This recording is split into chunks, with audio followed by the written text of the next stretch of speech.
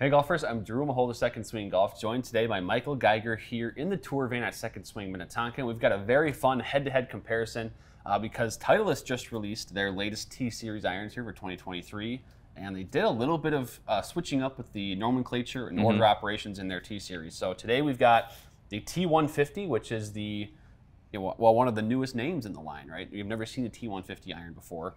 And we have the previous generation T100S. So the T150 actually replaces the T100S in the current T series. Um, and we got a lot of questions and a lot of comments from people demanding that we compare these two head to head. So we've got it today, Michael. Um, and I think, you know, I actually, before we started filming here, I was just chatting with a couple fitters and they have said a lot of great things about the T150, how forgiving and hot it is for an iron that kind of looks like that. So, um, your first impressions, I know we've done you know a lot of things with Golf WRX here in the last few Yeah. weeks, kind of going over their members' choice voting. We've obviously, of course, plenty of reviews and testing. We've had Josh Telgin here as well to give his lowdown. So, um, but T150, what are your first impressions, and maybe how it might compare to T100S? Yeah, I'm not surprised to hear that feedback from the fitters. I think just kind of anecdotally online, just the general vibe among the golf public. The T150's been one of the trendier releases of this Mm-hmm. year. It's kind of that kind of that cheaters player iron where it's you know that not that they are lying about their score, but that it's a player that kind of wants an iron that sort of looks like a player's iron and maybe feels like a player's iron, but has a little bit of that forgiveness. And you'll see that this T150 that there's there's plenty of room there to you know provide that forgiveness that players Yeah. want while still adding kind of the feel and performance that they expect. Right. I think, you know, because the big thing Titleist did here was they really, size wise, they blended it perfectly between the T100 and T200 in the 2023 T Series with the 150. Now, with the previous generation, the 100S, that wasn't necessarily the case. The 100S is a lot more um, closely aligned with the T100 in terms of appearance. And so uh, now that they're a little bit, I think people are maybe a little worried or maybe curious about the performance of the T150 lines up closer to the T100 or T200, or maybe if it is just right in the middle of the two. But um, I, this is an iron. I think the T100S even got really trendy as well in the Absolutely. last couple of years. It you know, did. as the players, like you said, there's a lot of players that want that compact look, but they still need a little bit of distance, maybe, or, or want to keep up maybe with their playing partners, Yeah. uh, perhaps. And these both of these iron models do that. For. Yeah, and I think maybe some people they looked at the T100S and, and there was a little bit of maybe confusion of just is this just kind of Right. a, a souped up T100? That, that there wasn't maybe as much clarity about who this is for. I think the T150, you know, even just the name draws a very clear line in the sand. It's a player that maybe isn't quite looking for that T100, but wants you know a bit more workability than they would get from the T200. Sure, sure. So we're gonna have Michael hit some shots today. I've got a Project X LZ 6.5 shaft for Michael's uh, swing speed, and hopefully that, that works out today. But um, we're gonna hit a few shots with each. We're gonna line up the TrackMan data, and we'll tell you guys what the differences are in the data. So you ready to swing, Michael? Let's do it. All right, so Michael, we'll start with T100S. Yeah. Um, and to clarify again, 32 degrees aloft on that one and the T150 here. So I think initially too, I'll be looking for your feedback on just what that club looks like. Um, Sure. And then you know the feel, performance, things like that. And obviously, when we get the T150 in your hands, we'll kind of talk more about it and see what the differences are. In, in terms of look, the T100S, kind of to that the point we brought up in the intro, it very much looks like a T100. Mm-hmm. And and for a player like me, that I think that the, the 2021 T100 was maybe the most attractive Yeah. iron in that class. So that that's definitely Mm-hmm. not a bad thing for me. It is noteworthy that it's very T100E. It's Yeah, not it's not a clear difference from it, Yeah. a clear departure. So that'll be something to monitor uh, with the T150. Yep.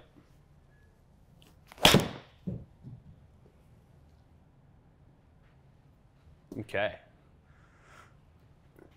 And so now, for the people that might not know, I don't know how much we've talked about the clubs in your bag on the Sure. channel, but what do you play for your irons currently? So I play Mizuno MP5s. Okay. Um, the seven iron I think is about I think it's about 35 degrees. yeah. So I know it's, about it's definitely more than this. So it's about a club more. So I, I typically carry that somewhere in the 172 to 175 range. Okay. Um, so that's a little kind of estimate there. yep.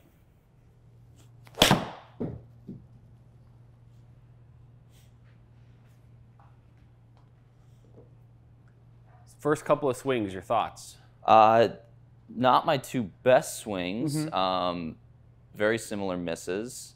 Yeah, I noticed that. Um, solid carried numbers considering the the, the miss hits. Yeah. Um, and the the total distance is pretty hot. Um, Yeah, I know when you catch one when you catch one good, that smash is going to go up and that ball speed will go Yep. up. But, but if you're, you know, I expect you to get in the 180s when you kind of hit one hit one well here.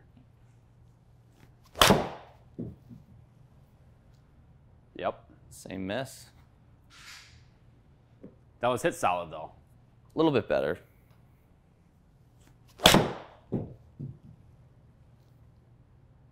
Okay, how about that one? How's that one feeling? A little bit better. Yeah. Um, it's still just kind of that. It's still just kind of that same shot. Um, yeah, I'm because I I know you as a relatively high spin player, at least with your Yep. woods and metals. I'm curious because you mentioned the lower flight. That one went a little bit higher, but Yep. I'm wondering if, and, and it seems like a pretty minuscule change or difference, but I'm wondering if the T150 with a little bit more build to it, a little bit more weight down low, kind of packed behind the club mm-hmm. face and low. I wonder if that'll maybe increase the height a little bit. It- yeah. This is definitely lower spin and lower flighted than than I'm typically used Yeah. to seeing. Which again, that could, that's partially related to loft with the, what you're currently playing. For sure. but For sure. That sounded pretty pure. It was a bit better. Yep, that's a good ball right there. You also do hit down on the ball really well. Like you compress the ball really well, so that's part of the reason that uh, that's kind of staying a little bit lower than like Yeah. just under that 100 feet mark. Which again, that's not a bad thing. that know? right there is yeah. That's kind of what we're looking for. That that right around 100 feet it would be it's kind of ideal Yep. for me.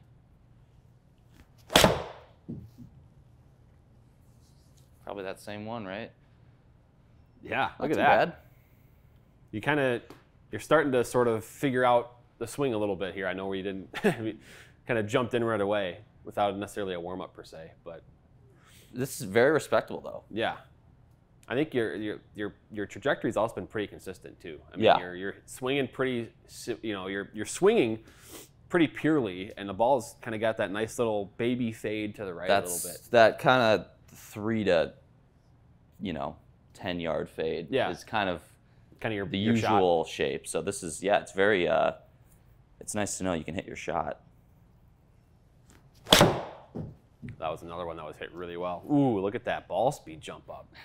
Went after that one. Look at that. Yeah, no, that's There it is. There's uh, the baby fade. I mean, all right. Let's see here. We've got set. Let's hit one more, and we'll take Sure. six of eight. How about that? Let's do that. We'll take six of eight with both clubs.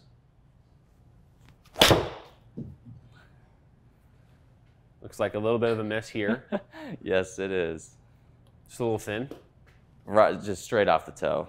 Oh, really? Yeah. I've been there before. So we've got eight. Let's take out, let's see, I'm just going to go kind of based on like smash factor here. Sure. We'll take out this one, probably down here in this one as well. We've got six of eight here.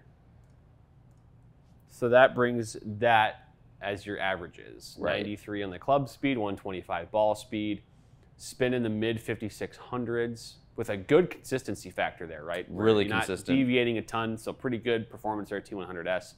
Carry out 182, total 192, rounding up there, and there's kind of that consistent, you know, shot shape there. I'm going to bring up the dispersion as well here. And so we've got that baby fade working. Mhm. And I mean, really, this is that first shot that in reality probably is also kind of an outlier or maybe one that you wouldn't Sure. necessarily count in a, in a fitting per se, but we'll leave it, I guess, for the sake of six of eight. But I mean, overall, these five are pretty close together out there, too. I mean, this is a pretty narrow landing area that we're using. Yeah. So this is a, I mean, so far a good start here for a good bar, I guess, for the T150 to match. Definitely, really impressive numbers, especially the the, the distance side. Um, that's those are those are good uh, Mm-hmm. good carry and total numbers to see. Yeah. So what I'll do now, I'll set up the T150, and then I'm also going to kind of give you the, the head for the T100S, um, and then I'll kind of have you compare and contrast this, the appearance of them, Yeah. right, and how they look at address. Perfect. All right, so Michael, now you got we got the T150 built, and Yep. you got the T100S club head in hand. Talk to me about visually any differences that you see. It, it's really just sort of everywhere you look, it's just slightly sized up. Really, the T150. Yeah. You know, you look from the back, and there's just sort of a slightly square toe. Mm-hmm. Um, you know, kind of the, the, the back sole is just a little bit, uh, you know, enlarged. You see the top, um, a little bit thicker bottom. Sure.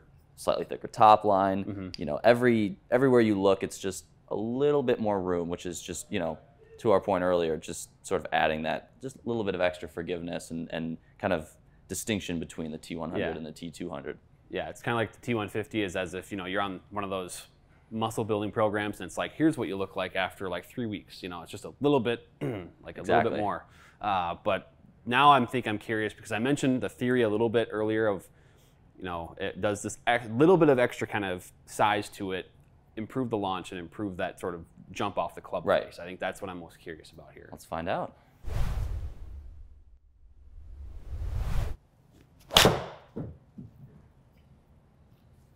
A great first swing by the looks of it. Okay, all right. I believe that is the first time I've seen the spin go over 6,000 Yeah. today. There's that 100 height number. Yep. A few yards of There's the baby fade. Yeah. That's, that's pretty much that's pretty much what we're looking for. That Slight miss there. slight. But see, even the spin is still up. Yeah. That's kind of that's interesting. Where was that miss? Was it Just low toe. okay? Curious because that I mean it looks a lot like this. You know, maybe one or two misses from the last club that were you know a little short right and Yep. a little bit lower maybe on Yep. in the height. But the spin stayed over six thousand, which is interesting. Another good rip there, and even that one, the spin is just a hair under six thousand. A little thin. That one, some pop on that one too.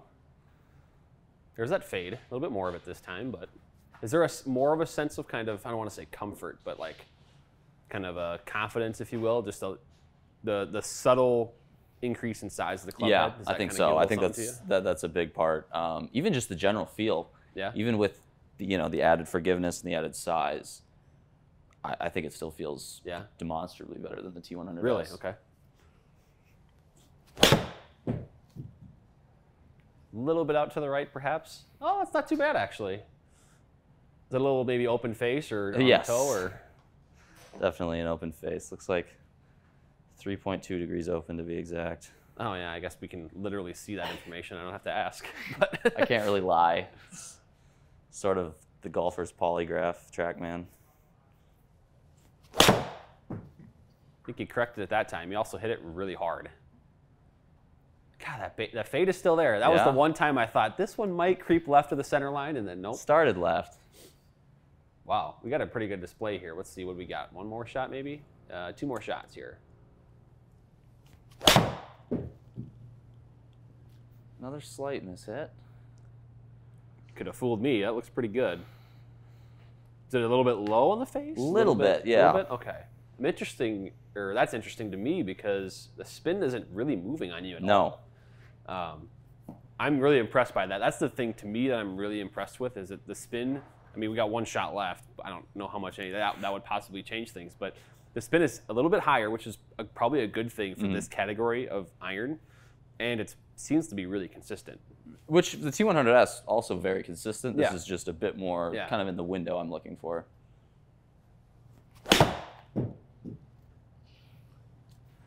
Okay. Okay. So not your not your best swing there. No. But we have uh, our policy right. of best six or six of the eight. So we'll probably take this guy out, and we'll probably take this guy out, and then we've got our numbers here to compare. So from the T100S to the T150, here's the numbers breakdown.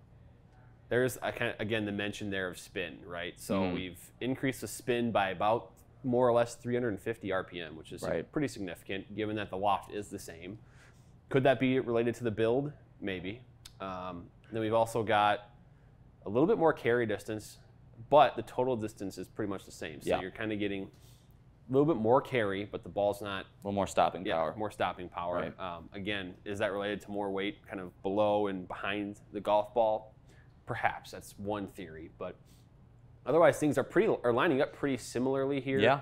Um, you know, maybe the you know even that's the other thing too. The spin is actually lower with the T100S, despite your face being even a degree and a half more open. Right. So there's certainly something there, at least in this comparison head to head, that there's more spin to be had with the new T series, at least T150 versus T100S. Yeah, I think you see the height as well. I mean, it's just that Yep. extra six feet.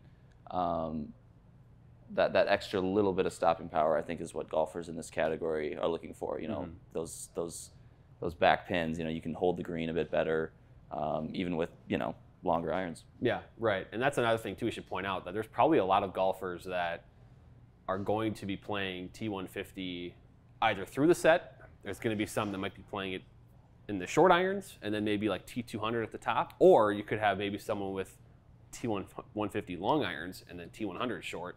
A lot of combo sets to be made there with our fitting team in, in the fitting bay. So that's another thing to point out here. This is just a seven iron, obviously, but if you're trying to find the differences between T100S, T150, I think this table outlines it, and then I also wanted to bring up the map as well, and we can see a little bit of how that dispersion tightens there for Yep. you with the best six of eight there. Um, this kind of string right here was really the, you know, that those four of six are really, really good shots there, and I could see how consistent that distance is. You had one that you club, kept the club face a little square that actually jumped up to 200 total Yep. um, where that fade was, oh, yeah, it was a fade, of a four foot fade. Um, but other than that, I mean, you got that baby fade working, and I wouldn't go away from it, Michael. That fades eat fillets. yeah, exactly. Um, so yeah, I think the conclusion here is just a little bit more spin, maybe a little bit higher on the flight, Yep.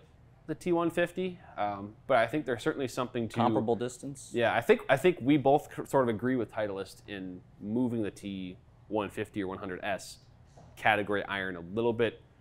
And I want to say away from T100, but kind of just more in the middle between 100 and 200. Yeah, while it visually looks different, I think it, it gets closer to what players are looking for with this kind of iron. Yeah. And really, you gain a ton without really, other than just the slight maybe visual pre- preference for, for lower handicap players, you don't lose anything performance wise switching from the T100S to the T150. hmm Certainly, yeah. I think, I mean, last thing left to say is golfers that might be interested in T Series irons, the 2023 version. Um, we fully endorse the T150. I think it fits in really well with that entire lineup from T100, T150, T200, and then 350. Um, there's all kinds of combo sets that can be made there. So schedule that fitting. Um, get in with one of our fitters here. We'll get you set up with a T Series iron set that works for you the rest of 2023 and into 2024. So, Michael, thanks for joining. Um, really good stuff today. We learned a lot on this one, I think. You got it.